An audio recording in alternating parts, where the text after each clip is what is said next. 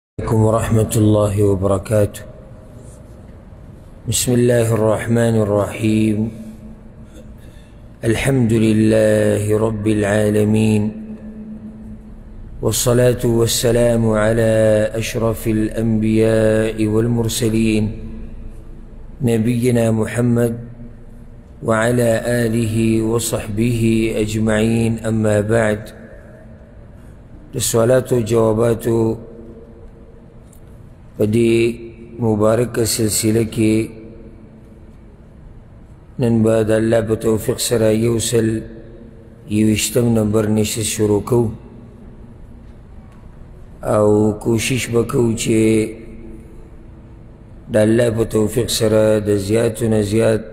سوالات د هغې جوابات ورکړو او چې کم پاتې شي نو هغه بیا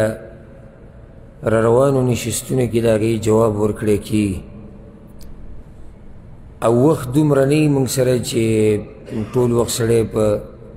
د سوال په جواب کې تیر کې او همیشه به دغې ته ناسي چې خلک سوالونه رالیږي ته جوابونه ورکوه دا ناممکنه خبره ده او بعض خلک دا ګیلې کوي موږ سوال کوو جواب نه میلاویږي او هغه ته مو یو ده ته مو وي داسې مو کړو نو یو خو دا دی چې د سوالاتو جواباتو نه علاوه نورې مسلې هم شتي نور درسونه دي صرف دلته په جومات کې درسونه نه دي نورو ځایونو کې هم درسونه دي او هغې سره نور مصروفیات دي د دې عوامو بعضو دا مطلب وي چې بس ده د عالم او د مولوي صاحب بس دی دقه کار به کوي او دی به دی به خپله دنیا کې ته راته ووایه پلانې ټایم پکې لږ وباسه جی خو موږ ډېر مصروف یو هغه زموږ د کار وخت یو هغه داسې او دغه نو څنګه چې دا عام سړی دا وي چې زما مصروفیات دي نو د ده د مصروفیاتو نه سل چنده زیات مصروفیات هغه د یو عالم وي او د ده به څه مصروفیات دي دغه دغه مصروفیات دي چې ته مزدوري به کوي غټ مصروفیت به دی او زمونږ مصروفیت ډیر زیات دي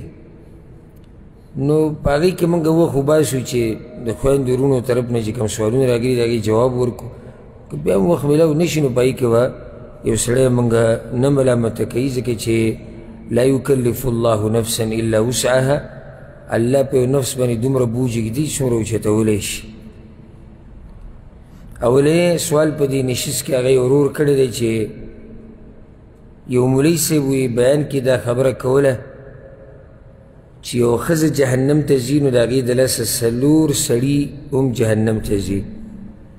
د هغې پلار او ورور خاون او زوی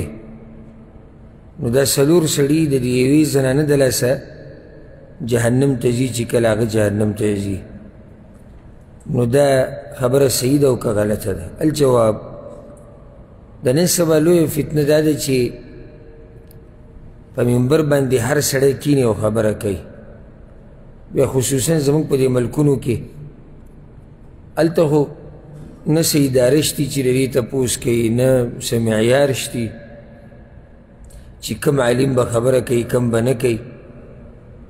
خو بس ورخیږه منبر ته او چې څه دې زړه غواړي هغه ووایه که د مولا په نوم لګیای او که د سیاستدان په نوم لګیای بس پکې په جمعتونو کې د سیاست قصې کوي د سیاستدانان او دا بعض مولیان پکې لطیفې وایي او منګړت او د دروغو قصې نو د افسوس خبره دا دی چې هغه منبر چې په کار ده او د هغې نه د قرآن او د حدیث نشر او اشاعت وشي هغه استعمالیږي د دې قسمه ناروا خبرو او کارونو لپاره دا خبره چې یو زنانه جهنم ته ځي نو د هغې د لاسه به څلور سړي د هغې سره جهنم ته ځي دا حدیث نه په صحیح سند شته او نه په ضعیف سند سره شته نه دا روایت صحیح شته او نه ضعیف شته بلکې یو کس هم د بل د ګناه د لاسه جهنم ته نه ننوځي او نه یو کس د بل کس د ګناهونو بوج اوچتوي سورة الانعام کې الله خب... دا خبره کړې ده ولا تکسب كل نفس الا عليها یا قیامت په ورځ به یو نفس ته هغه څه میلاویږي چې څه هغه کړي دي ولا تزر وازره وزر اخرى او د یو بل کس بوج ته بل باندې نشي ایښودی هر سړی به خپل بوج وزیاتوي قرآن کې الله وي په بل ځای کې سورت فاطر کې وان تدعو مثقلة الى حملها لا يحمل منه شيء ولو كان ذا قربه که قیامت پر ورځ څوک دا وایي چې چې راشي زمانه دا بوج اوچت کوي نو هېڅ څوک ترې بوج نه شي اوچتولی اګر که هغه د ده نږدې خپلي خو بیا ته دا بوج نه شي اوچتولی نو اصل دا دی او دا صرف په قرآن کې دا خبر نه ده بیان شوي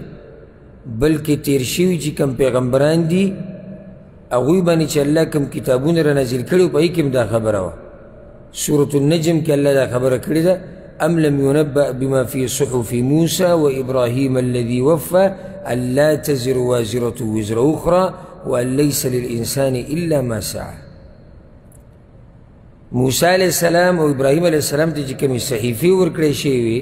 په هغې کې هم دا خبره وه چې د یو کس بوج بل نشي اوچتولی وان لیس للانسان الا ما سعه او قیامت په ورځ به انسان ته نه میلاویږي مګر هغه څه چې څه ده کړي دي پیغمبر صلی الله علیه وسلم حدیثونو کې هم دا خبره کړې ده نو اصل دا دی چې د یو په ګناه باندې بل نه رانیوی کېږي نه په دنیا کې او نه په آخرت کې ها اوس دلته یو بله مسله دی چې هغې ته اشاره کوو دې کې شک نشتی چې څوک د لور او د بچی په تربیت کې کمی وکړي یا د خور په تربیت کې کمی وکړي او د الله د نافرمانی نه ونه یری او د ګناونو نه د بندولو کوشش ونه کی تر دې چې هغوی جهنم ته لاړ شي نو دې سړي باندې هم ګناه شتي د دې چې د کوتاهي کړې ده ګناه د کوتاهي په ده باندې شتي او دله الله سزا ورکولی شي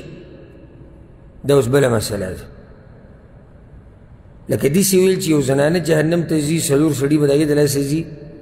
دا خو بې دلیله خبره ده خو دا خبره صحیح ده چې د یو زنانه تربیت صحیح ونه کړی شي او تربیت ته چا د طرف نه کېږي صرف مور او پلار ضرور مور پلار خاون د خاون د تربیت نه کوي خاوند به ښځې ته نه ښیي چې دا غلطه ده او دا صحیح ده دا ګناه ده او دا نیکي ده دا خاوند دا پلار دا رور دا ټول دلته مراد دي چې څوک هم کمی وکړي په تربیت کې او هغه د چا تربیت چې په ده لازم و یا کول په کار و هغه جهنم ته لاړ نو په ده باندې هم ګناه شتي د ده د کوتاهۍ او الله له عذاب ورکولی شي الله سبحانه وتعالی قرآن کې یا ایو الذین آمنو قو انفسکم واهلیکم نار ای ایمان والو خپل ځانونه او خپل اهل او عیال د جهنم نه بچ کړئ دا ذمه واري ده زما او ستا چې خپل اهل او عیال د څه نه بچ کړو د جهنم نه نو دا تا سره چې ستا په نکاح کې ښځه ده او تا لازم دي چې ته دې ته دین وښې د بېدینۍ نه منع کړي چې دا د جهنم نه بچ شي ستا بچي زامن دي کلونه دي ستا خویندې وروڼه دا ټول ستا باندې ذمهواري ستا مور پلار او تا ذمهواري ده چې ته دوی تربیت وکړې او دوی ته طریقه وښې دا تربیت یوازې دې ته نه وایي لکه د بعضو په ذهن کې تربیت دې ته وایي چې یو ماشوم به یې وړوکی خس کې او ته به مشر یې ته به د هغه تربیت کوې نه چې څوک هم ستا نه کشران دي یا ستا د لاس لاندې دي د دې ټولو تربیت به تا لازم دي مور پلار چې کله ته ځوان شوې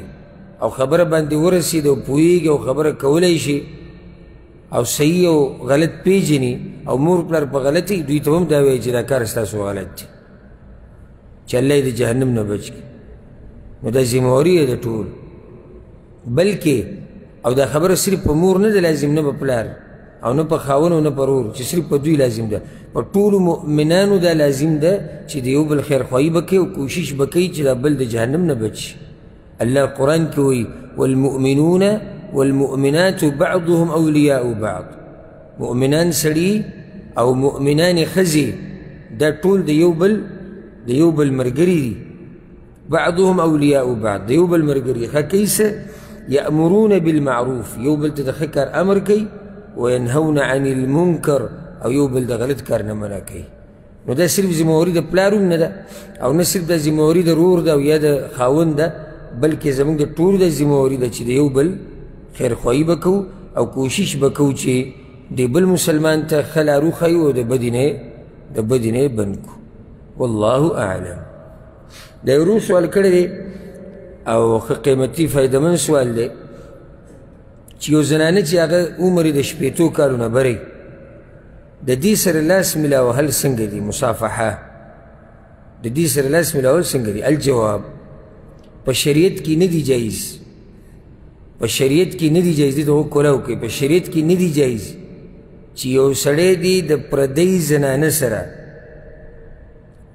لاس ملاو کی اگر که هغه ځواني او که بوډه وي که ځواني که بوډه وي شپېته نه الله دې کړي چې اتیا کاله عمر اتیا نه سل کاله عمر چې یو زنانه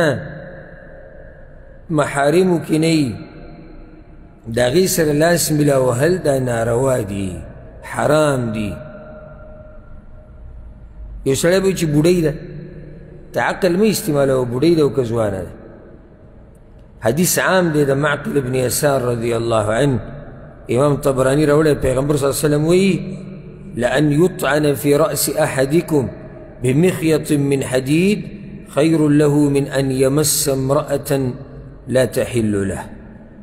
که تاسو کې د یو سړي سر له وسپنه راواچولی شي که نه وسپنه نو دا وله ښه ده د دې نه چې دی داسې زنانه سره لاس میلاو کړي چې هغه د لپاره نه حلاله نه جایز یعنی د دین او دغه د اوسپنې د ګزار ښه دی نو دا حدیث عام دی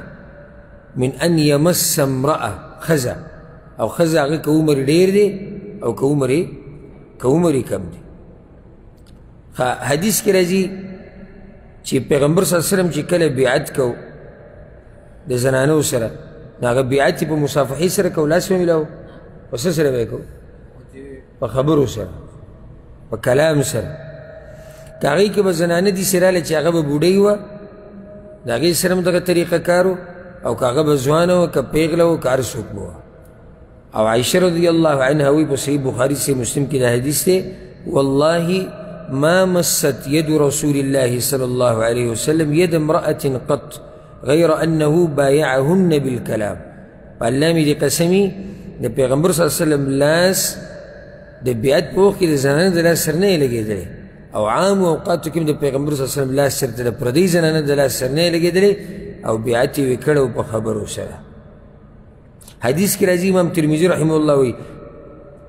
امام ترمذي رحمه الله راوړی د پیغمبر صلی الله علیه وسلم نه انی لا اصافح النساء پیغمبر صلی الله علیه وسلم چې ګوره پردو زنانو سره لاس نه ویلاوه نو دا حدیثونه عام دي دا حدیثونه څه دي عام دي په دې کې دننه بوډۍ او جنۍ دا ټول پکې دننه داخل دي او دا د پښتنو یو جهالت دی چې ډیر مولیان هغه پې غلي دي او غلي پې پاتې شوي او ځکه دا فایده ده کې علما په دوه قسمه دا هم فائده ده علماء په دوه قسمه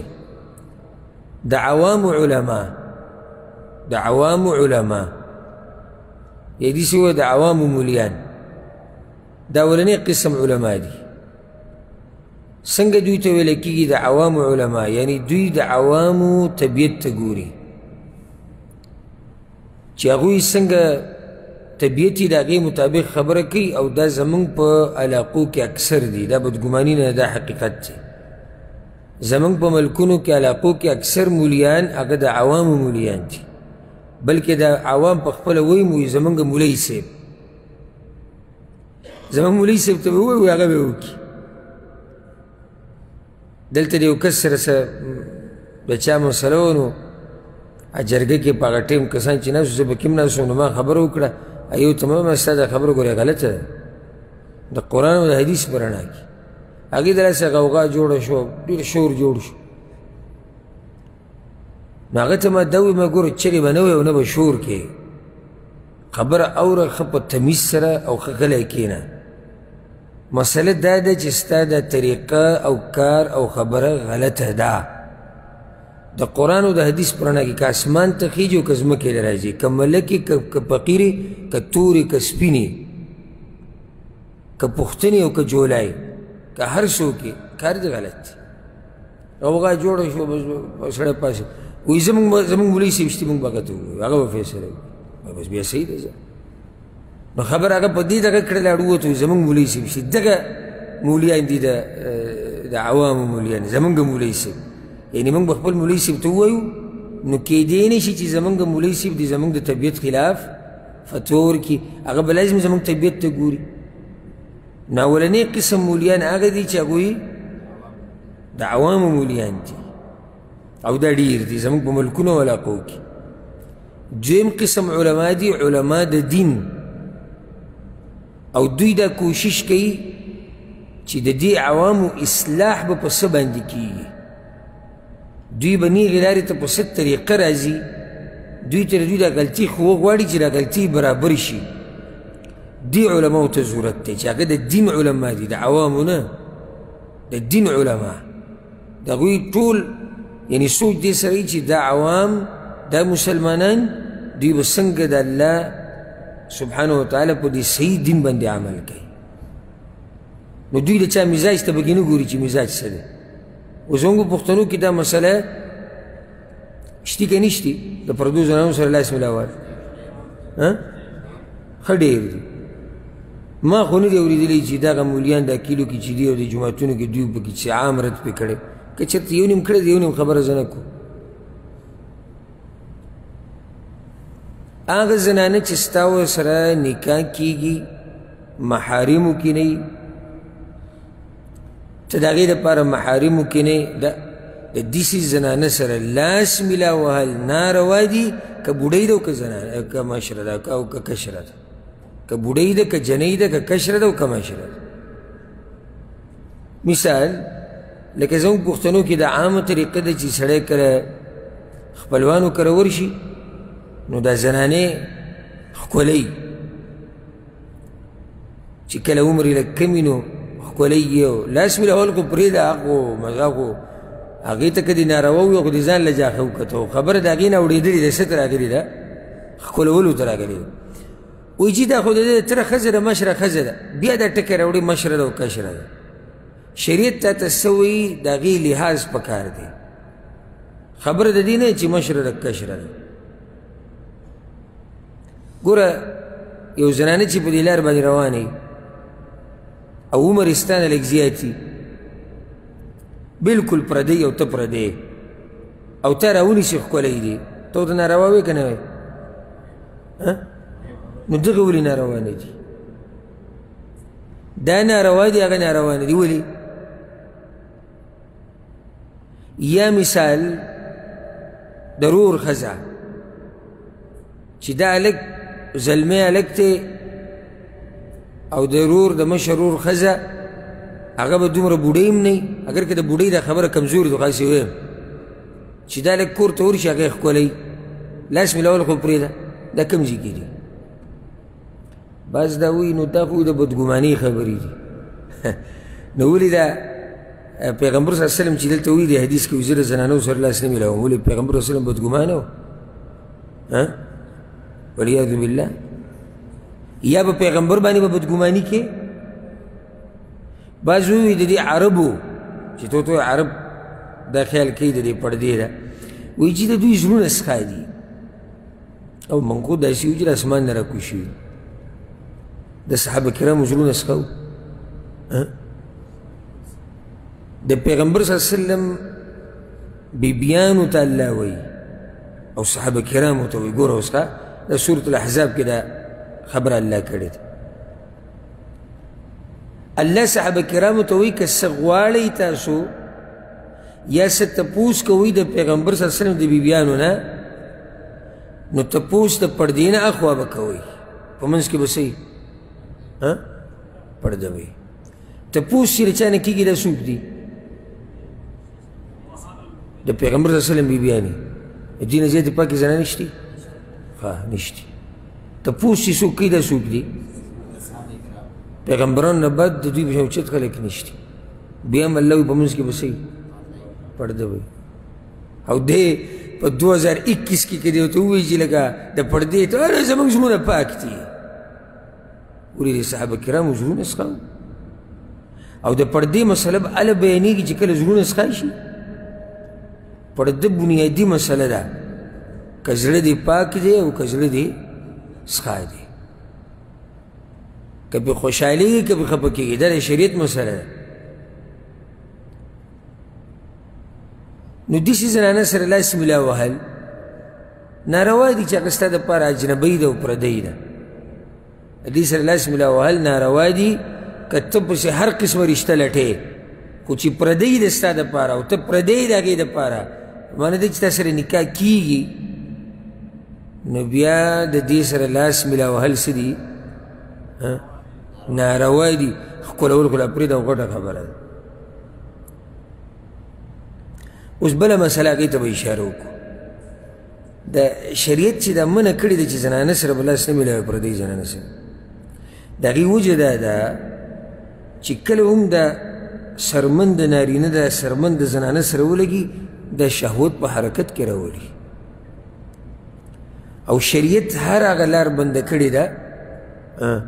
چې هغه کوم طرف ته ځي هغه حرام ته ځي وګوره په شریعت کې یو قاعده ده یاد یې کړئ ما ادى الى حرام فهو حرام کم شی چې تا حرام ته رسي هغه هم حرام دی لازم دی کم شی چې تا حرام ته رسي هغه څه دی هغه هم حرام دی لکه پردي زنانه سره لاس ملا وهل تا څه ته رسي فحاشي او زنا ته فحاشي او زنا حرامه ده لاس ملا وهل حرام دی پردي زنانه ته کته بغیر ضرورت یا هغه جدا مسلې دي استثنایي حالات چې پردۍ زنانه ته که ته ته رسوي څه ته حرامو ته نو دا نظر څه شو حرام شو هر هغه شی چې ته حرامو ته رسوي هغه حرامېږي ځکه شریعت دا منع کړې ده چې پردۍ زنانه سره به لاس دا به نه میلاوي دا بلکې دا وګوره د پردۍ زنانه ته کته دا خطرناک دي که لاس میلاولو سره خطرناک دي ولې کې دې شي دی جوابي ها ته څه او څه دغه جواب وشي هغه کې دواړه د نه راځي خو دلته دا خبره چې دا سرمن چې د سرمن سره ولګي دا چې شهوت څومره زر په حرکت کې راولي دومره نظر نه راولي نو ځکه شریعت بلکل هغه لاره هغه لار بنده کړې ده حدا د فایدې دپاره یاده کوي په پردو زنانو باندې سلام اچول د جایز دي سلام اچول اوس خو دغه زنانې چې کوم په رشته کې راځي او ځي راځي منکر او دغه خو د فتنې یره پکې نه اکثر هم یو حال کې د فتنې یره کیدی شي چې اوس ته چې بچا سلام چې هغه هم پیغله جنۍ او ته ځوان هلکې لکه مثال کې د تره لور شوه او د ماما لور شوه او تا ته پته دی چې د سلام نه فتنه جوړیږي بیا به سلام نه اچي ځکه چې هر هغه لار چې تا غلط ځي ته رسي هغه لار به په ځان باندې بندې اوله ویده وګوره وی دغه نه منه وکړه د د سلام نه چې په خلم سلام ما اچوه او دا د شریعت مسله ده بیانوي ده ته دا د شریعت مسله ده چې پردۍ زنانه پردۍ کې هغې هر قسمه زنانې هغې سلام اچول جایز دي چې شرط دا دی چې کله ترې فتنه نه جوړېږي او چې فتنه ترې جوړېږي نو بیا به سلام په یو بل نه اچوي د دین هم فتنه جوړېږي او په دې بعضو خبرو باندې موږ په زور سترګې پټې کړي دي یعنې د زنانه د اواز هم سړی ګډوډ کوي خصوصا چې هلک زلمی هلکي او بیا چې واده ماده نه او بیا په دې دور کې د فیسبوک او د ټویټر او د ټیک ټاک په دور کې او جنۍ پیغله جنۍ یي د دوی دا غږ هم د یو بل دپاره فتنه جوړیږي د دوی دا خبرې هم د یو بل دپاره فتنه جوړیږي ولې دا هلکان د جنکو د اواز نه خوند نه دي اخلي تې د جنکۍ د هلک د اواز نه خوند نه دي اخلي تې خوند دلته چې فتنه جوړیږي د دې اواز نه نو بالکل د سلام اچول په کار نه دی دوی دپاره او چې فتنې یره پکې نه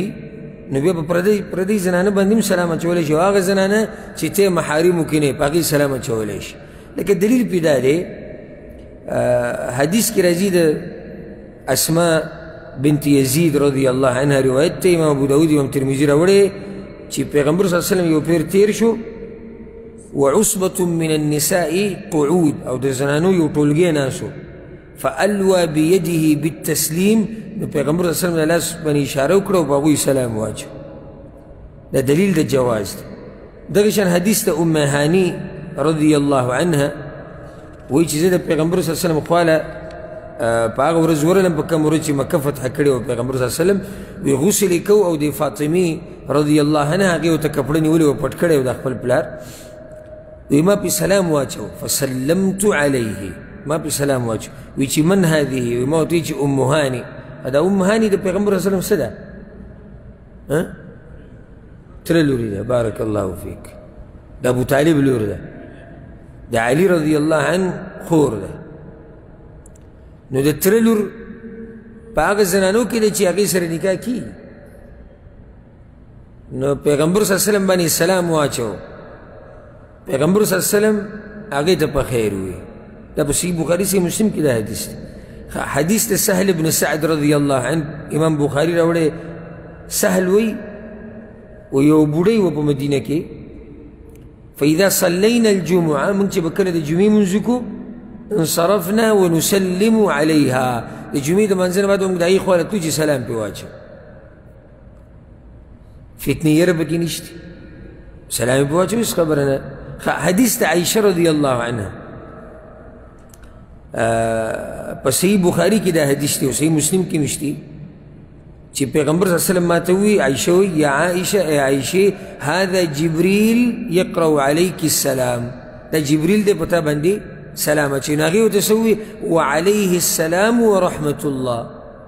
هغې بیم سلام واچو د سلام جواب یې ورکړو او جبریل علیه السلام به د سړي په شکل کې راتو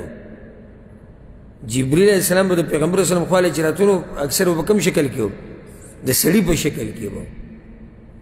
صحابه کرام به اکثر خبر هم نه چې دا جبریل دی امام بخاری رحمه الله ګوره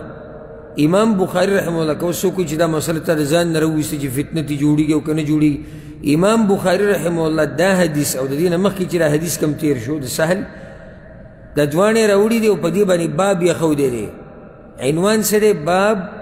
تسلیم الرجال علی النساء والنساء علی الرجال باب په بیان د دې مسله کې چې سړی په ښځې سلام اچي او ښځه په سړی په سړي اچي امام ابن حجر رحمه الله په شرح کې څه وایي والمراد بجوازه او د امام بخاري مطلب دا دی چې دا جایز دی الا چې کله فتنه ترې نه جوړي دا د امام ابن حجر خبره د امام بخاری باب دی چا تړلی مسله موږ نه ده راویستې نو دا د شریعت مسله ده چې فتنه تې جوړېږي سلام به نه اچي فتنه تې نه جوړېږي بیا سلام اچولی شي والله اعلم خبره لږ اوږده شوه خو دې ته څه دې ته ضرورت و زموږ په معاشره کې دا مسله یعنی څه ووایم چې دې له ولې دا خلک اهتمام نه ورکوي او د شریعت په هر کار کې په هر حکم کې حکمت وي خیر پکې فایدې پکې د شرعي پرده په دې کې لویه فایده ده او چې چا شرعي پرده باندې عمل نه دی کړی نو راشه ډېر درته پکې وښیم چې هغوی ته څه څه مسلې په کورونو کې جوړې شوي دي د هغې نه بعد یو خور سوال کړی دی چې د ماشوم د لاړې چې دي او د ده د الټۍ د پاکې دي او که نه الجواب اصل طهارت دی نو د ماشوم د لاړې شوې د ماشوم د الټۍ شو د پاکې دي بلکې د انسان الټۍ پاکې دي کاغه ماشوم دی او کاغه کاغه لوی دی خو د پاکو دا معنی نه ده لکه دا بد جاهلان سره ناشنا خبره کوي اوس موږ الحمدلله په دې قول باندې مطمئن وو دا په خپل تحقیق په کوم کړی او دلایل هم کتلي ادارې چې یوړون تقلید باندې لګیږي چې منی دا پاکه ده منی څه ده پاکه به خپل درای دي موږ دا مسله په نورو ځایونو کې بیان کړې ښه نو دا بد جاهلان څه او وګورئ وایي چې منی پاکه ده خورئ یې خورئ یې ټکه اوس روز دی لګوي منی پاکه ده سټې دا اوس روز د زیادت کله چې وویل شي چې دا شی پاک دی موږ دلته حکم بیانو کیدی شي چې دا شی د انسانانو په طبیعت کې کرکجنی دا بله مسله ده یو شی ته ورته په دې نظر ګوري چې زما بدی شي دا ستا د طبیعت او دا کرکه اوس د دې د لاسه څه چل وکړو چې په دې باندې یو شرعي حکم جوړ کړو چې هغه دا چې دا پلیت دی کېدای شي داسې یو شی پاکي او کرکجني کېدای شي که نه شي کېدای لکه څه شی لکه الټۍ شوې پوزې نه څه ګند راوځي لاړې شوې دا حکم یې څه دی دا حکم ولې بیانېږي پاک ولې وایي چې دا که ستا په کپړو ولګي او تا مونځ وکړو نو مونځ دې څه دی صحیح دی دې لپاره دا مسلې بیانېږي که ستا په لاس ولګي په بدن ولګي مطلب دا نه چې پاک ته ته خوره دا د جاهلانو خبرې نو کله چې ولګي چې د ماشوم لاړې پاکې دي یا الټۍ پاکې دي یا د انسانانو الټۍ پاکې دي دا خو واضح ده چې دا د انسانانو په طبیعت کې دا یو کرکجن شی دی ټول انسانان د الټۍ نه کرکې کوي کرکه ترې کوي او یعنی بد پې لګي د هغې بین د هغې رنګ د هغې لیده دا مطلب نه شي چې ته اوس په دې باندې یو شرعي حکم جوړ کړې چې او دا به پلیت وي ځکه چې د انسانانو بدي شي یو شی زمونږ بدي شي معنه دا نه دی چې دا به صحیح لازم به دی پلیت وي کله یو شی کرکجني خو هغه صحیح پاکي ها او کوم شی چې پلیت دی په هغې پورې موږ ښه دی د هغې باره کې به څه نه وایي لکه اوس دا نسوار سګرټ شو دې باره کې مې څه خیال دی پاک دی که پلیت دی پلیت په معنی یعنی یعنی یو کرکجن شی دی اګر که هغه هم جدا مسله ده کرکه چې د سړي کېږي که نه کېږي ده به په خوله کې دا شی لګولی یو هغه حرام دي دغه استعمالول دې ټیم کې وایس نه خو که ته چېرته دا وایي چې الټۍ پاکې دي او وي خو ویده وي چې خورۍ دي نو ځان په دې مسله پوه کوي چې کله دا وویلی شي چې دا شی پاک دی معنی ده چې که چېرته په کپړو دي لګېدلی یا په لاس دي لګېدلی یا په دغه ځي لګېدلی کوم ځای کې چې ته مونځ کوې نو مونځ دې څه دی مونځ دې صحیح دی معنی دا نه دی چې ته بس په کپړو ساته وینځی مو خورې او څټې دا هېچا نه دي وي نو تحقیقي قولم دا دی چې د انسانانو الټۍ چې دي دا څه دي دا پاکې دي بعض علما دا وایي وایي په دې باندې اجماع د علماو ده چې دا الټۍ چې دي دا پلیتې دي بعض علما دا وایي خو دا قول کمزوری دی دا اجماع کمزوري ده دا څنګه اجماع ده ځکه چې امام ابن حزم رحمه الله هغه خو واضح وي الټې د انسانانو دا پاکي نو دا څنګه اجماع شو د امت علما او امام ابن حزم پکې نشتی دغه شان امام شوکاني رحمه الله علامه صدیق حسن خان رحمه الله دې ټولو د تحقیق دی چې الټې د انسانانو داسې دي دا پاکي دي ځکه چې اصل دې کې طهارت دی او د دې طهارت نه پلیتوالی د ته نشي وړی دی مګر په یو دلیل باندې او دې باب کې صحیح او مضبوط دلیل نشتی چې هغه په دې دلالت کوي چې الټې چې دي دا پلیتې دي نو خلاصه دا شو چې د ماشوم الټۍ او لاړې څه دي پاکې دي والله اعلم ښه د ورو سوال کړی دی چې کله ښځه او خاوند یو بل سره ملاو شي او کوروالی وکړي او د یو بل نه خپل حاجت پوره کوي خو منی نازل نشي یعنی منی ته لاړه نشي بیا په غسل لازم دی کنه د غسل د لازمیدو د پاره د منی وتل د شرط دی الجواب یاد کړئ دا خبره د سړی او د ښځې کوروالی چې کله دوی د یو بل سره ملاو شي په دوی غسل لازم شو اگر که منی نه تلي اگر که د منی خروج نه شوی بیا هم په دوی غسل لازم شو حدیث کې د راځي ښه واضحه او دا مسلې موږ ځکه واضحه بیانو دا ګورې د غیرت او د خلاف نه دي بعض ته دلته غیرت رایت شي پښتو دغه پښتو غیرت جیب کې کېږي یا مال راکړي چې بوټان پې دله پاک کړه دا غیرت او پښتو هسې پالتو غیرت او پښتو دی چې د شریعت په مقابله کې راځي ډمان ګډوه پښتو نشتی اجراګان ګډوه پښتو نشتی ښه سپا اعلانونه کوه چې موږ مرکزي کولاو د ډمتوب دپاره پښتو نشتی سود خوره پښتو نشتی د ګاونډي زنانه په غلط نظر ته ګوره پښتو نشتی بازار کې جنکو ته ګوره پښتو نشتی بازار کې جنکو لنډې تنګې جامې پښتو نشتی د انډیا فلم په کور کې دننه چلوه پښتو نشتی ډرامې په کور کې چلوه پښتو نشتی د ښځې لنډې تنګې جامې په کور کې دننه پښتو نشتی د پردو په مخ کې کنځلې کوه په کور کې د وړو په مخ کې د ښځې په مخ کې د مور پلار په مخ کې پښتو نشتی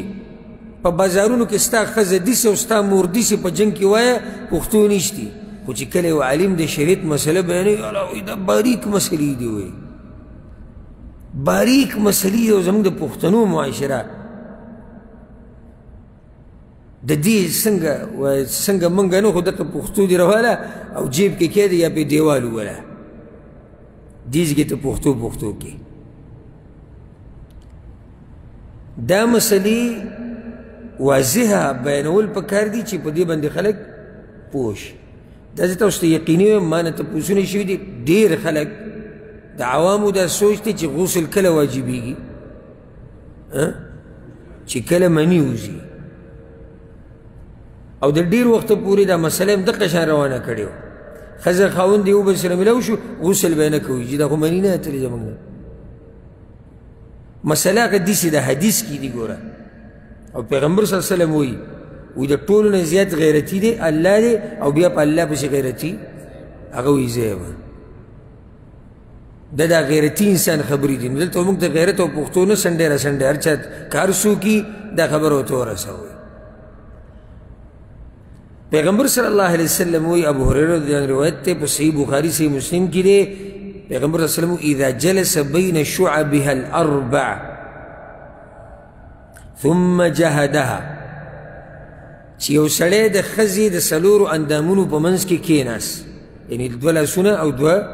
خپې ثم جهدها بیا کوشش ته کوروالي وکړو فقد وجب علیه الغسل نو په ده باندې غسل لازم شو د امام مسلم په روایت کې خو سردي څخه واضح راځي و ان لم ينزل اگر کمنی تی نه تلی بیا په غسل لازم شو خو دلته بله مسله دا یاده کوي د ښځې او خاوند میلاوېده څه ته وایي یعنې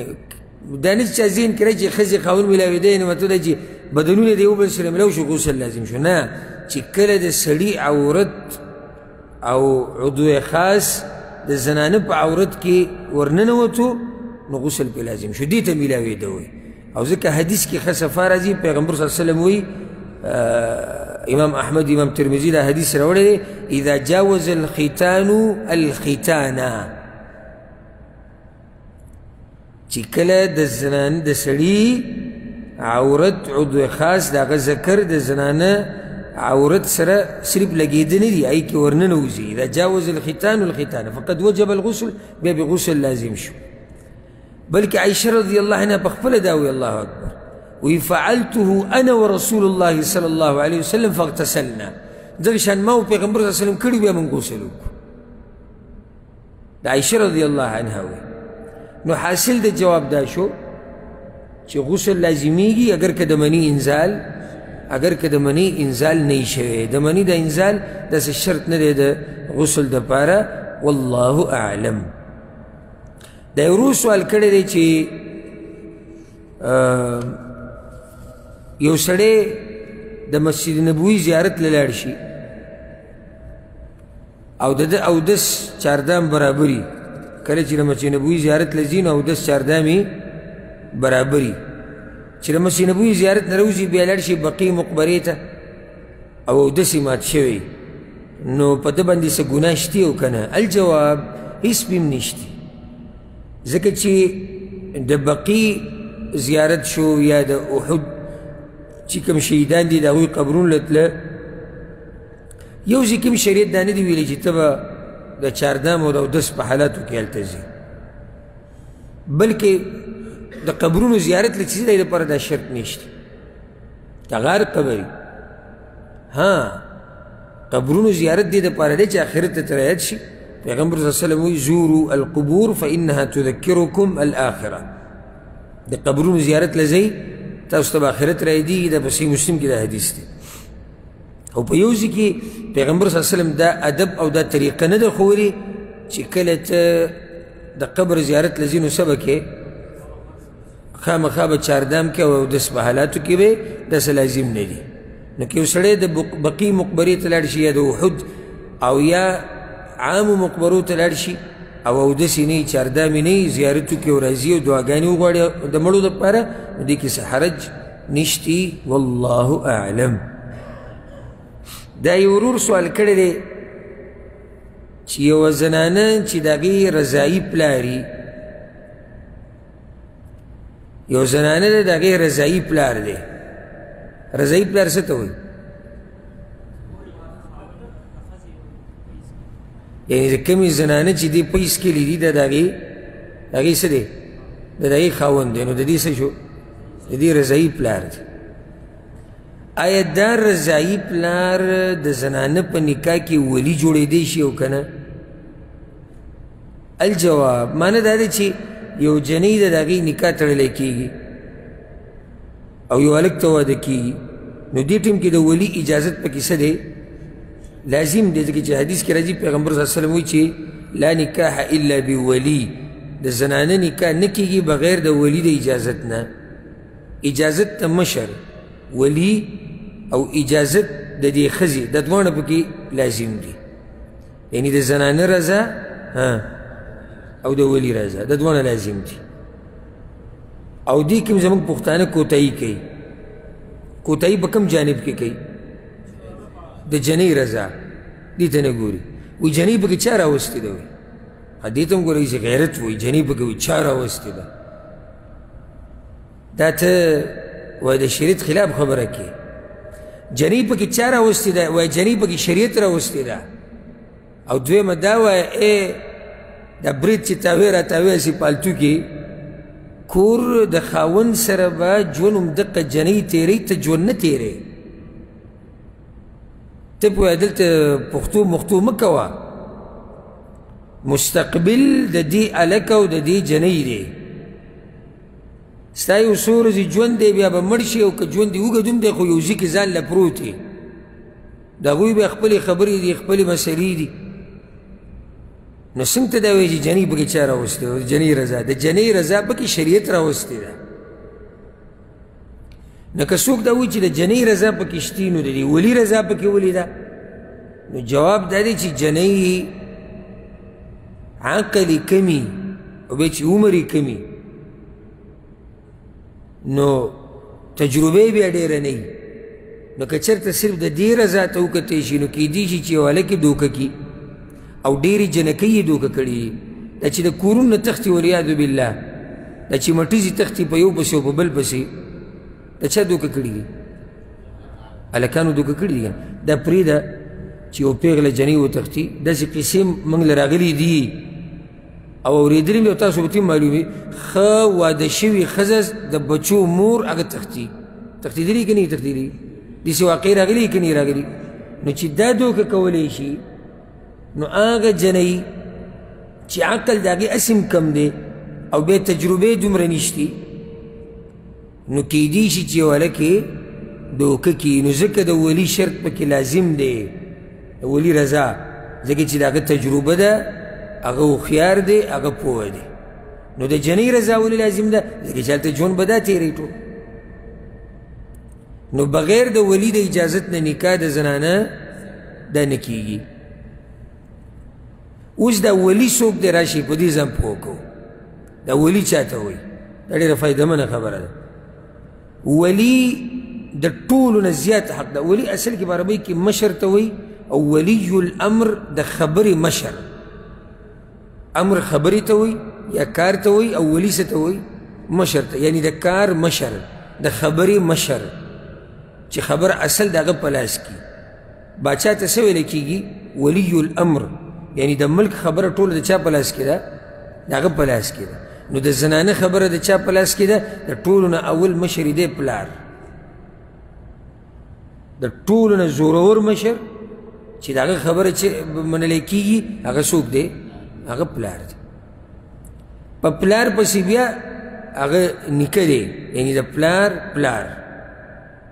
او دا سلسله چې داسې بره ځي که نه یې بیا بره وګوره که هغه یې که بره دا ټول حقدار دي ځکه چې دا سلسله کې چې بره څومره راځي دا داسې لکه پلار په دې پسې بیا زوی که چېرته دا زنانه دي سي چې د دې زوی یي خاون یې مړي یا طلاقه شوي او زوی یي او پلار یې نه یي نو بیا دویم نمبر ولي څوک دی هغه بیا زوی دی دریم نمبر په درجه کې او په مرتبه کې هغه د دې خپل رور خپل رور څه معنی ده مور او پلار کې شریک عربي کې د الاخ الشقیق ویل کېږي په څلورمه مرتبه کې بیا هغه رور چې هغه د پلار نه دی په پنځمه مرتبه کې بیا د دوی بچي د چا بچي د دې وروڼو بچي یعنې دوی وروڼه دا بیا مشران دي شپږمه مرتبه بیا ترونه اوومه مرتبه بیا د ترونو اولاد ښه اوس یو زنانه د پلاری نشتی زوی نشتی رور خپل نشتی د پلار طرف نه رور نشتی د هغوی بچی نشتی ترې نشتی د تره بچی نشتی نو بیا اخرنۍ خبره حاکم وقت او یا قاضی چې حاکم وقت مقرر کړی حدیث کې درځي السلطان ولی من لا ولی لها حاکم وقت او یا هغه چې کوم څوک یې مقرر کړی دا مشر دی د هغه زنانه چې مشر یې نه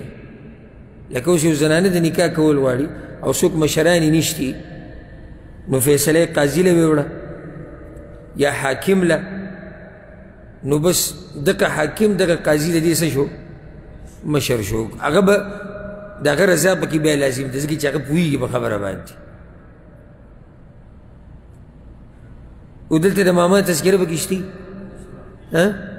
نه ښه مور نشتی هغه رور چې هغه صرف مور کې شریک دی هغه به کې هم نشتی دوی ته عصبه ویل کېږي دا خپلوان دي نږدې او زورور هغه هم دا دي په دې ترتیب دي او عصبه هغه خپلوانو ته ویل کېږي چې هغه د سړي خپلي من جهت الاب د پلار د طرف نه د مور د طرف نه چې کوم خپل دی د هغوی هېڅ ولایت په دې ځي کې نشته لکه یو سړی دا وایي چې زه د دې جنۍ د ماما نه تپوس وکړئ اعتبار شته دی له نه نشته ها رضایی پلار تذکره پکې راغله سم خیال دی رضایی پلار تذکره پکې شتي ولې نشتي عصبه کې نشته او بل هغه د پلار طرف نه خپلوانو کې خو نه دی که نه دی نه دی نو رضایي پلار دی د جنۍ ولي نشي جوړېدی والله اعلم همدا کرور بل یو سوال کړی دی او ډېر خوندور سوال دی یو سړی دی د هغه رضایي لور ده رضایي لور څنګه کېدی شي د ده ښځې هغه جنۍ له ماشومې له پی ورکړی هغه بیا د رضایي لور شمارل کېږي هغه لویه شوه غریبه وه نو دی دې له زکات ورکولی شي او که نه او دا ډېر ښکلی سوال دی او زه د بعضو ملګرو دې سوال ته ډېر خوشحاله شم ځکه چې دلالت د هغوی په پوهه باندې کوي او دا سوال پته نشي ستاسو زه خو یعنې ګومان ښه ساتم ډېر تکړه خلک یې خو څه هم که ستاسو ذهن کې چې دا سوال راغلی چې رضایي لور دې له زکات ورکولی شي او که نه جواب د مسلې دا دی اول خو دا یاده کوي چې کله یو سړی او د هغه بچي غریبانانی نو بچو له زکات دا مسله ته اوسته ده بچو له زکات ورکولی شي ولې نه نه نه بارک الله فیک او بالکل دقیق جواب دی او ډیر په غلی شو ځکه راته مونږ وایو دین یې زده کوي دین یې زده کوي هغه سړی وایي او مونږ دومره جوهري مسلې دا جوهر نه دا خو ستا بچي نشته چې بچي دې شتي دا مسله تا ته راځي زوی دی غریب دی چېرې دله د زکات ته پیسې ورکوم لور ده هغې د زکات ته پیسې د هر چا ته دا مسله نشي راتلی که یو سړی دا وایي چې دا دا مسلې دا خو چې سړی غټ عالم جوړېږي او غټ مولا ته جوړېږي پرېږده که خبرې دا هر مسلمان ته دا مسله راتلی شي یاده که اصولي او بنیادي مسله چې یو سړی بچي غریبانان دي نو دی دغه غریبانانو بچو له زکات نشي ورکولی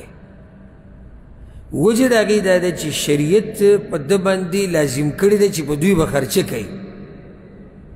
ځکه چې د اوس رسی د هغوی نه رسی په ده لازم دي چې خرچه به کوي نو چې کله دی زکات ورکوي نو په دې کې یو حیله کوي چې هغه شریعت چې بسو واجب کړي دي چې هغه د ځان نه لرې کړي نو هغه خلک وایي چې په یو غشي باندې دوه ښکاره یعنې زکات هم وشو خرچه هم وشوه ها بعض استثنایی حالات شته هغه موږ نور ځایونو کې ذکر کړي دي هغې له نه ورځو جدا مسله ده خو دا مسله د هغه بچو په باره کې ده چې هغه د دې سړي د دې ملا نه پیدا او د هغه نوسو په باره کې ده چې هغه د د ملا نه پیدا د نوسو هم ګوره دا مسله ده ځکه چې نوسې هم داسې دی لکه لکه بچې خو کم نوسی د لور بچی نه د زوی اولاد د زوی اولاد یادو نو دا مسله د هغه بچو د پاره ده او د هغه نوسو د پاره ده چې هغه د دې سړي د ملا نه پیدا یعنی ملا نه پیدا څه مطلب شو چې خپل بچي ملا نه پیدا دی ته وایي هر چې بچي د رضاعت دي نو هغوی په دې کې نه دي شامل هغوی له زکات ورکولی شي ګوره دا رضاعت نه دی رضاعت دا چې یو ماشوم راولګي د یو زنانه پی وخوري د دې سره صرف د خپلولۍ مسلې ثابتېږي یعنی دی مور شو دی خور شو دی ورور شو ده دا پې حرام شو دی پې حرام شو صرف دا مسلې پې ثابتېږي بس محرمیت پې ثابتېږي کتی شي که نشي کتی دا مسله پکې راځي نکاح ورسره کېږي که نه کېږي دا مسله ورسره ثابتېږي خو د دې سره نه میراث ثابتېږي او نه خرچه ثابتېږي او نه د دیت مسلې پې ثابتېږي ورسېدې به که نه او نه د ده سره داسې ښه په تا لازمېږي لکه څنګه چې هغه خپل دی چې هغه په نسب او وینه کې ستا خپل دی لکه اوس رضایي پلار او خپل پلار د دې دوړو پتا باندې وشن حق دی ها خپل پلار حق او ځان لږ نو رضاعت سره صرف دغه څو مسلې ثابتېږي به دغه دغه احکام دي احکام د خپل ولي چې د نکاح سره تعلق ساتي د نظر سره یعنی د تکتې شي کني شي پرده ته لازم ده کنه ده نکاح وسره کی کنه کی دا خبرې ثابتېږي د میراث مسله نه ثابتېږي نفقه خرچه نه ثابتېږي لکه څنګه چې ستا د بچي چې غریب یا کمزور یا معذور او ستا وسره شي په ته خرچه لازم ده دا مسله هلته نه ثابتېږي ښه یا الټې کا الټې که ته غریب کمزور او ستا رضایي زوی دی نو په هغه لازم دي چې په تا خرچه وکړي نه ده لازم که دا مسله دې سره نه ثابت شي ته زما په دې خبرو ورسېدې که سېدېږي والله اعلم دا یو روز سوال کړی دی وی ما ته د یعنی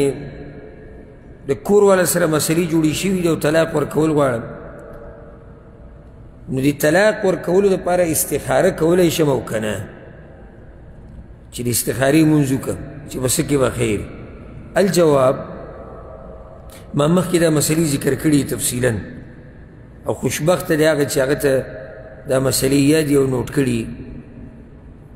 او چې سرې بسې بدنونه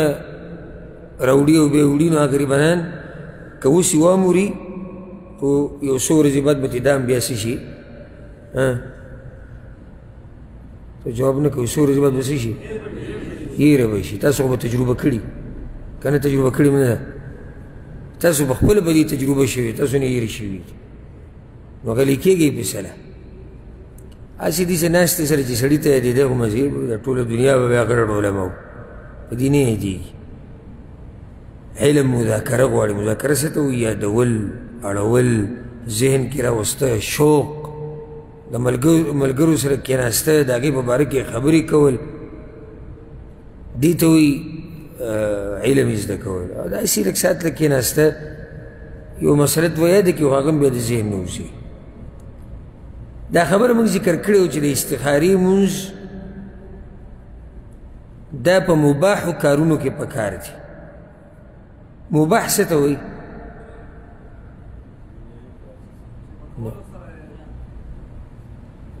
کولو سره ته صحیح جواب ده د کولو سره ګناه نه او نه کولو سره انا مباح د نه کولو کې ګناه نشته او کولو کې ثواب نشتی بارک الله فیک دې ته مباح وي مستحب څه ته وي چې وکړي ثواب دی چې وینه کې ګناه نشته مکروه څه ته وایي کراهیت نه کول غوره دي او که دې وکړو نو ګناه پکې نشته حرام څه ته وایي کولو کې ګناه ده نه کولو کې اجر دی واجب څه ته وایي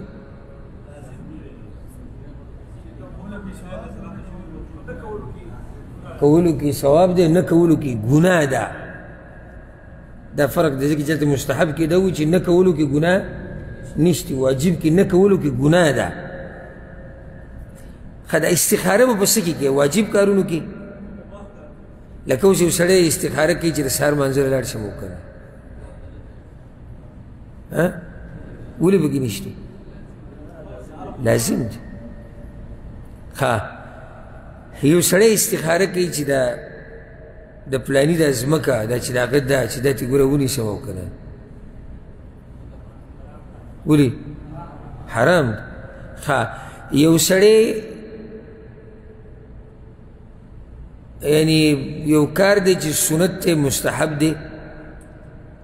کولی په کار دی ثواب پې ملاویږي نه کولو کې ګناه نشتی او دی پکې استخاره کوي چې ویې کوم او که نه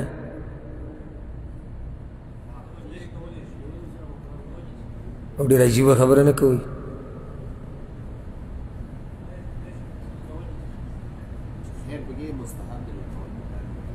نو استخاره دې سکے مستحب کې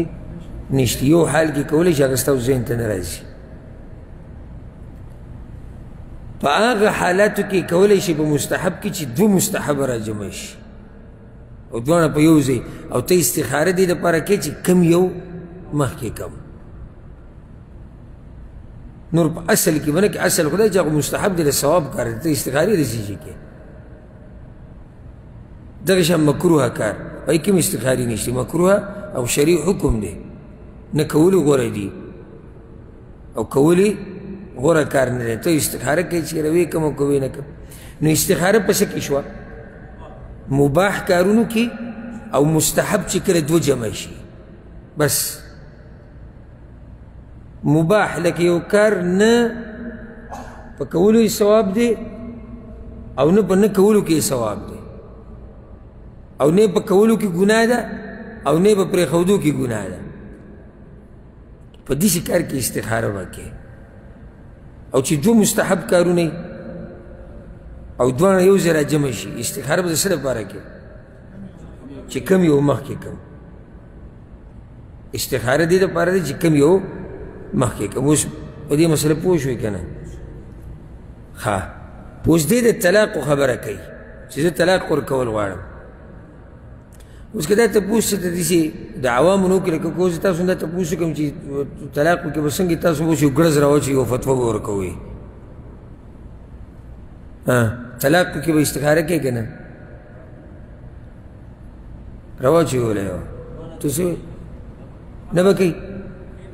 کوي به ها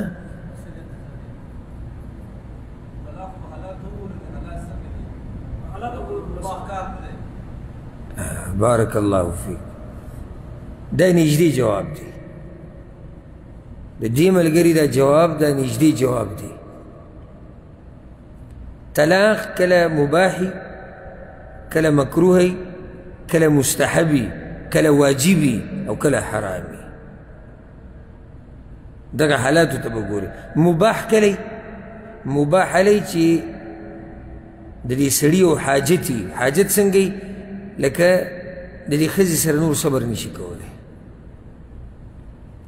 او د دې ښځې سره ژوند نور نشي تېرولی نو دې ټیم کې طلاق ورکول څه دي مباح دي که واجب دي واجب خو نه دي او حرام خو نه دي او مکروه خو نه دي ولې نه دي مکروه اوس به مسله به تاسو ډېره اوږده شي اوس مکروه ورته ولې نه شي ویلی جواب دا چې حاجت یې دی او چې حاجت راشي نو کراهیت ختم شي چې دا بس خبرې تاسو سره دي چې کوم ځای تاسو په عادت شي خو داسې نه چې هغه بیا سبا له موږ وایو چې د ویلو نه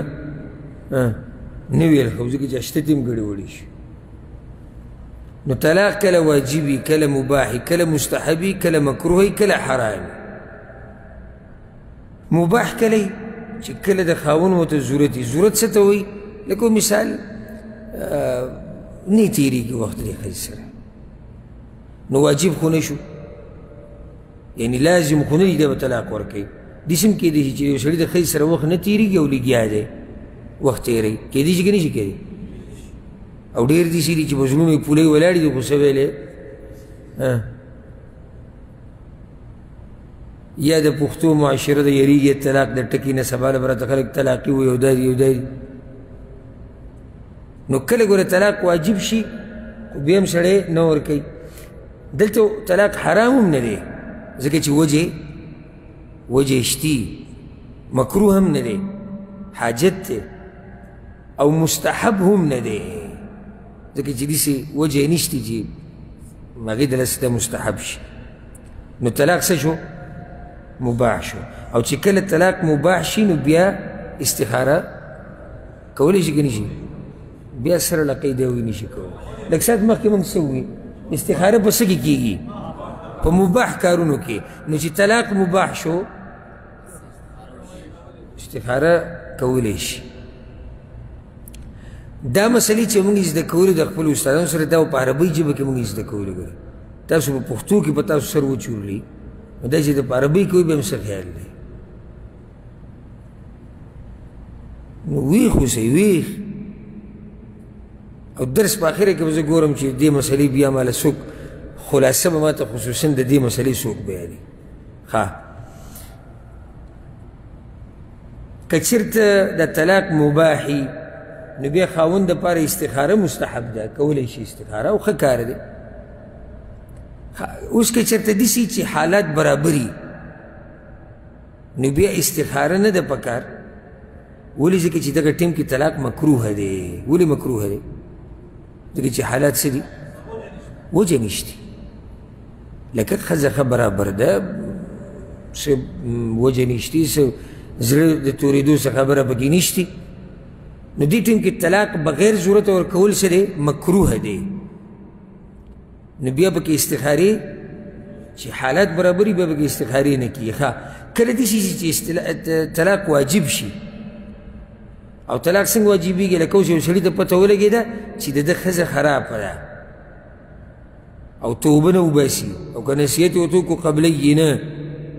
نو په داسې ټیم کې طلاق ورکول څه دي واجب دي استخاره به کوي ولې به نه کوي واجب دي په واجب کې استخارې نه کېږي ها دا د فایدې ذکر کړم د زنانه د پاره چې کوم زنانه د خاون نه طلاق غواړي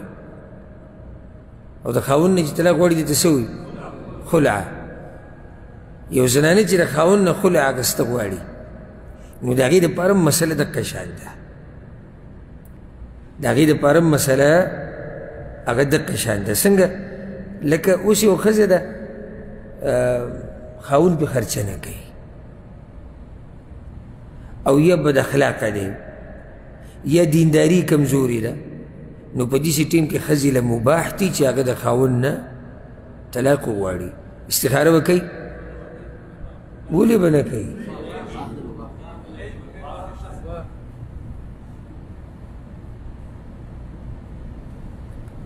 ها آه یو زنانه د مثال کې هغه بغیر جرته او سوجې نشتی او د خاون نه طلاق غواړي استخاره به کېشتي نشتی به استخاره هله ده چې کله ده طلاق غوښته سي مباح وي چې مباح به پکې استخاره کوي ما خو خپل کوشش وکړو د پوه کولو نور مخکې پته نشي چې حالات به صحیح او دغه جواب شو که چېرته طلاق ورکول دی رور ته موږ دا وایو اوس ته وګوره چې ستا د طلاق ورکول په کومه مرتبه کې دي که چېرته ستا د طلاق ورکول دی ښځې له دا مباحي نو بیا استخاره مستحب ده او که چېرته د طلاق ورکول په تا باندې واجب شوي د هغې خپلې وجې دي که مکروه یي چې هسې ورکې او یا مستحبي ورکول یې غوره او یا حرامي بالکل طلاق نشي ورکولی د هغې خپلې وجې دي نو بیا پکې استخاره بیا پکې استخاره نشته استخاره به هلې چې کله طلاق ورکول سي طلاق ورکول مباح اخرنی سوال به ولو دی ورو سوال کړی دی چې بعض مؤذنین چې کله اذان کوي نو د اذان د شروع کولو نه مخکې استعاذه او بسمله وایي یعنې اعوذ بالله من الشیطان الرجیم بسم الله الرحمن الرحیم داسې ګرې غونته کوي بیا اذان شروع کړي نو دا ثابت دی او که نه الجواب اعوذ بالله او بسم الله دا د منځه په شروع کې راځي چې کله ته دعای استفتاح ختم کې سبحانک اللهم هغې پسې بیا اعوذ بالله وایي بسم الله به وایي او سوره فاتحه به وایي دغه ثابت دي خو په اذان کې او د اذان نه مخکې شروع کولو نه مخکې دا نه دي نقل شوي د پیغمبر صلی الله علیه وسلم نه او د سلف صالحینو نه چې هغوی دا کار کړی او عبادات چې دي اصل دا دی چې دا به نه کې الا هغه عبادت به کې چې دلیل د سره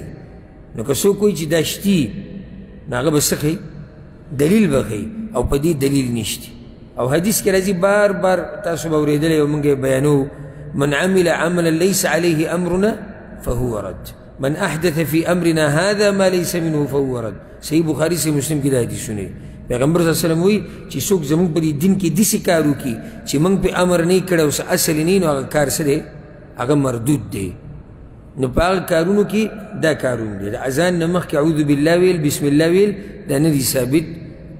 د پیغمبر صلی الله علیه وسلم نه او نه د صحابه کرامو په دې باندې به اکتفا وکړو الله سبحانه وتعالی دې موږ پوه کړي په قرآن او په حدیث باندې او الله سبحانه وتعالی دې موږ ته علم نافع نصیب کړي زه اوس غواړم چې یو کس ما په دغه مسله باندې پوه کړي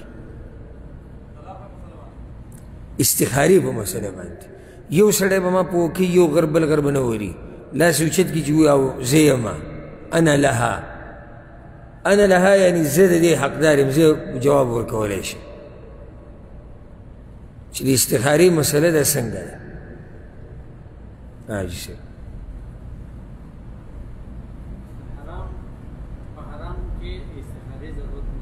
حرام کې استخاره نشي کولای ضرورت نشته نه کولای نشي په مستحب کې نشي کولای په مکروه کې نشي کولای په مباح کې کولای شي یو دنه پاتې شو په واجب کې واجب کې استخاره نشته بارک الله فیک کینه یعنی واجب پته یو کار لازم دی یاله وی کوم کنه څنګه ته اوس واجب دي ته پوښونه کې یو کار پتا حرام دی یو کار کول مکروه دی غوره نه دی او ته چې ګورم چې وی کوم کنه هغه مکروه دی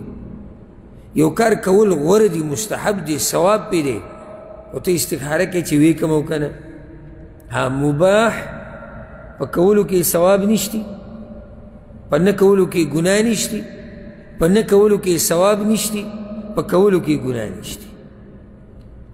دا مباح دلته اوس ته استخاره کولی شي چې دا به زما لپاره به کوم یو غوره کول او که نه کول ولې د استخاره ته ولې کې ځکه چې هلته کول او نه کول په یو مرتبه کې دي ښه په واجب کې کول او نه کول په یو مرتبه کې دي کول ثواب دی نه کول ګناه ده په حرام کې دواړه یو شان نه دي نه کول ثواب دی کول ګناه ده مستحب کې کول ثواب دی نه کول د ثواب نه محروم کېدل دي په مکروه کې نه کول غوره دي کول د افضلیت نه ځان محرومه کول دي نو طرفین برابر نه دي مباح کې طرفین څه دي برابر دي نو ځکه دلته به استخاره کې ها اوس د طلاقو مسله شوه یو سړی اوس طلاق ورکو استخاره به کوي که نه یو سړی به جواب راکړي ښه تفصیلي پوره لږ صبر وکړي یو سړی اول ما ته وایي زه جواب ورکو بس دغه دوو کسانو ته مسله یې په دومره کسانو کې دغه ایسې خو جواب ورکو بس عجیب دومره اوږده او پلنه مسله او صرف دوو کسانو ته معلومه ده دا خو پېژنو دا خو تکړه هلک چې دا خو موږ ته پته دي ته به جواب معلوم وي بل چا ته نه معلوم ته ووایه